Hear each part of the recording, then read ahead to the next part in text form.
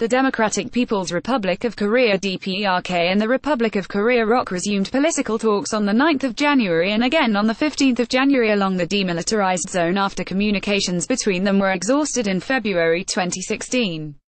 These talks were a major breakthrough after two years. Credit of this breakthrough must go to Kim Jong-un who in his New Year's message sent to create peace with ROK, wishing to open the dialogue to resolve outstanding disputes between the both countries.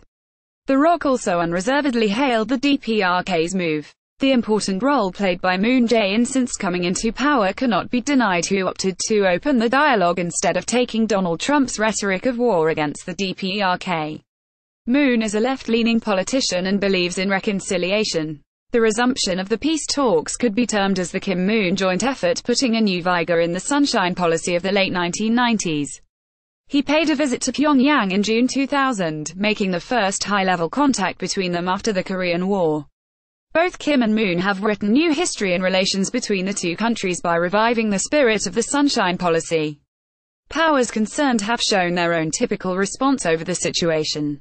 The United States and Japan expressed their willingness over the resumption of the talks between the two Koreas along with reservations.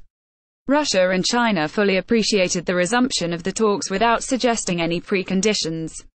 Because of the mounting tension between the two Koreas, China was under severe pressure to persuade the DPRK to shun its belligerent postures. China tried to persuade the DPRK, but not much success was achieved and China continued under pressure and the UN Security Council continued with imposing new sanctions on DPRK. The new situation is, however, a welcome move for China as it for long was anticipating for a peace move between the two Koreas. It cannot be said that ball is in the court of the ROK. Both the ROK and the DPRK have been equally responding and sharing the responsibility and talks are well progressing and rapidly changing the strategic atmosphere on the Korean peninsula. The nascent inter-Korean-led peace needs the support of the outside powers but not interference or dictation to successfully achieve the goals of the peace. China has been supporting the process as well as keeping the distance so that it should not become Chinese intervention in the process. China supported the two Koreas' efforts to improve bilateral relations, ease tensions and realize denuclearization of the Korean peninsula. President Xi Jinping made a telephone call to President Moon on the 11th of January appreciating the opening of the dialogue between the two Koreas. All sides concerned should make joint efforts to keep up the hard-won momentum for the easing of the situation on the Korean peninsula and create conditions to restart talks, he was quoted as saying. Chinese Foreign Ministry spokesperson, Lu Kang, in a press conference in Beijing shortly after top officials of the two Koreas met on the 9th of January, said that we are pleased to see such high-level talks being held between the two sides.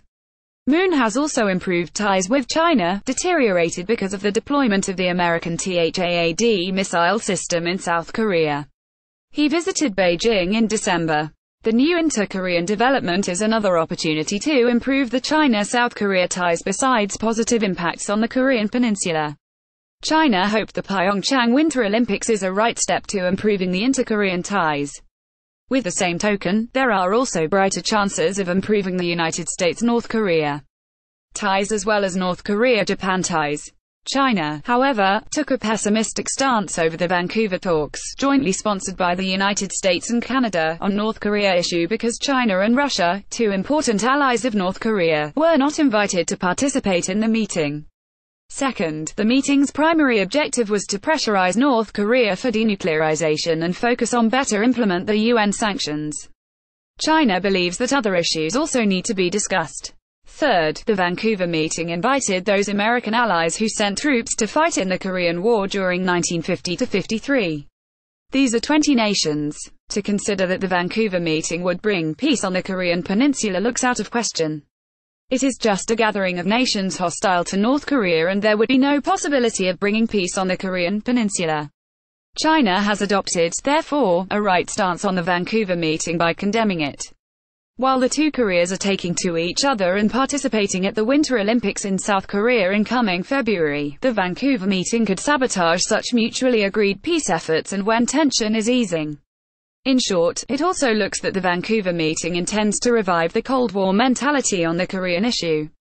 Such efforts should be prevented as they would be stumbling block toward peace efforts, which is urgently required on the Korean peninsula. The writer is director of the China-Pakistan Study Center at the Institute of Strategic Studies Islamabad. He writes on East Asian affairs.